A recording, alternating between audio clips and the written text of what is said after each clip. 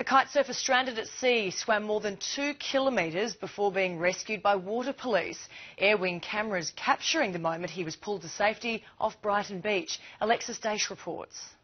When a lone kite was found floating 10 minutes before sunset, the search for kite surfer James Chisholm became urgent. He was stranded three kilometres out at sea off Green Point near Brighton. The wind dropped to zero.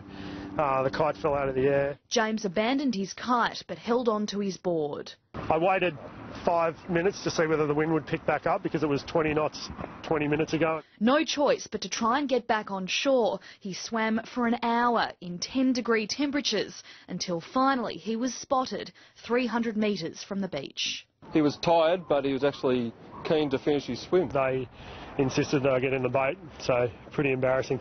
What saved James? His swimming ability. Having once attempted the English Channel for 13 hours without a wetsuit, the bay was a breeze. As soon as I looked at through my binoculars, he was powering along. Reasonably fit.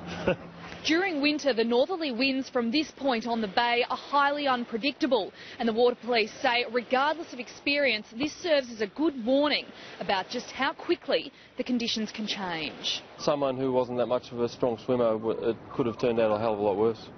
Alexis Daish, 9 News.